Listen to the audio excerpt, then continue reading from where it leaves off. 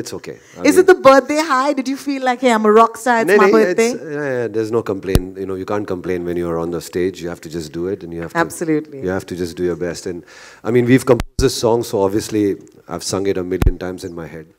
Uh, but we needed this voice, which really, you know, went Could throw, yeah, bold- absolutely. bold, kind of crazy voice, and and Vishal was the f- first and the last choice, and I called him, and he just said, "I'm coming." That's it. And he I'm on, it. bro. I'm on, bro. But then, and now the thing is, when we compose a song, I was singing it in a different way. Chahe talashe. I was singing it like that. But then, of course, when Vishal came, Chahe tala, he was singing it like that. So now I'm trying to sing like him, and that's a little bit difficult. So But it was fabulous. It was a treat for me to watch because as a fan of yours, this was amazing. Thank, Thank you. you. Thank, you. Of course, I'd like, request you to take a seat for a little while before we put down our chairs on the stage and we'll come back to take your questions. जी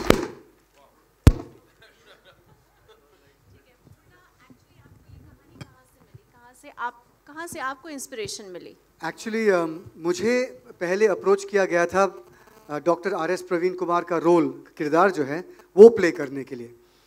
तो जब मैंने कहानी सुना तो पहले तो मुझे मैं बहुत शर्मिंदा था कि मुझे पता नहीं था कि दुनिया के सबसे जवान लड़की तेरह साल की लड़की ने वर्ल्ड रिकॉर्ड तोड़ा और वो तेलंगाना से थी। सो so, उसके बाद मैं मैंने उनसे पूछा लेखक से पूछा कि इसके प्रोजेक्ट के लिए पैसे है कि नहीं? उन्होंने कहा नहीं. Then I offer to produce it और करते करते करते produce direct make the film so it all happened organically Uh, is it uh, directing yourself uh, when you are acting, especially? Uh, मैंने पहले भी डायरेक्ट किया है अपने आप को. Everybody says I am fine में. जहाँ पे मेरा रोल इतना ही बड़ा था सपोर्टिंग रोल ही था.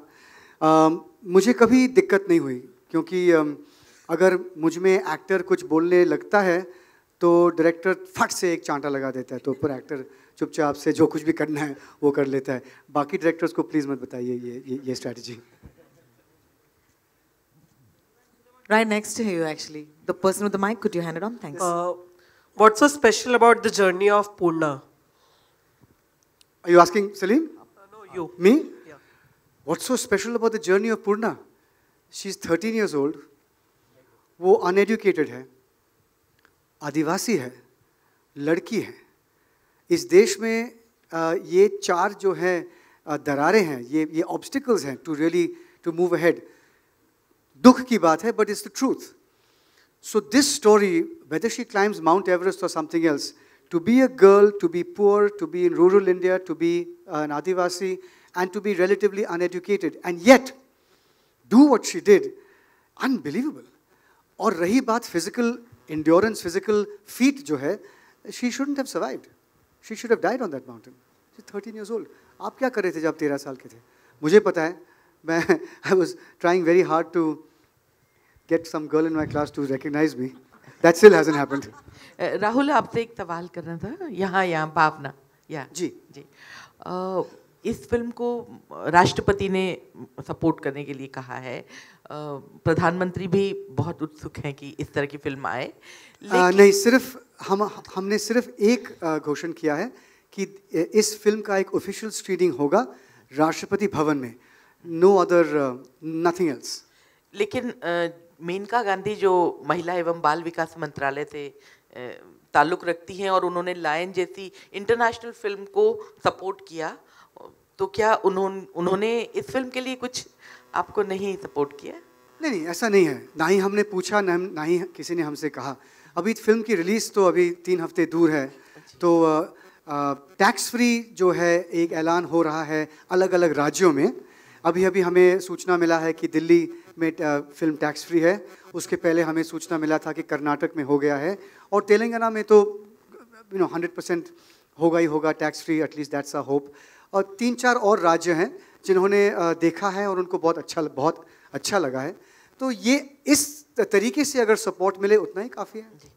और नेशनल अवार्ड के बारे में क्या है? जिस तरह की फ़िल्म है और जिस तरह का सब्जेक्ट है, इस तरह के सब्जेक्ट को वो लोग यूजुअली सपोर्ट करते हैं। ये ये सवाल मेरा आप तीनों से है। सलीम सलेमा सुलेमान जी और हम हम नेशनल अवार्ड के बारे में तो आप इनसे बात कर लीजिए। हम तो म्यूज़िक के बारे में बात करेंगे। म्यूज़िक में भी तो नेशनल अवार्ड होता है जी। और आपका इसमें माशाल्लाह तो काफ़ी बहुत बहुत बहुत शुक्रिया पहली बात तो। आई थिंक यू नो हम म्यूज़िक करते अवार्ड्स के लिए नहीं करते। हम तो म्यूज़िक करते फ़िल्म को हम जस्टिफाई करें हमारे आर्ट फॉर्म को जस्टिफाई करें। हमारी एक यू नो एक दिली पुकार होती है जब म्यूज़िक करते कि जो हम करें, वो ईमानदारी से करें, मेहनत से करें। और ऐसे गाने बनाए जो अच्छे गाने हों। कई बार ऐसा होता है कि वो प्रेशर होता है कि यार, मुझे हिट गाना चाहिए। पूर्णा में ऐसा कभी था ही नहीं। और अगर अगर ये प्रेशर कभी आता भी है हमारे पास, हम हमेशा ये कोशिश करते हैं कि हम अच्छा गाना बनाएँ। क्योंकि आप अच्छा गाना बनाएँगे तो उसकी बहुत चांसेस है ज़्यादा हिट होने की। अगर आप हिट गाना बनाने जाएँगे तो शायद वो मिस हो जाएगा। मैं कोशिश करता हूँ। सलीम, यार मेरे लिए एक हिट गाना बना is it convincing Shall I hit him now? It's your birthday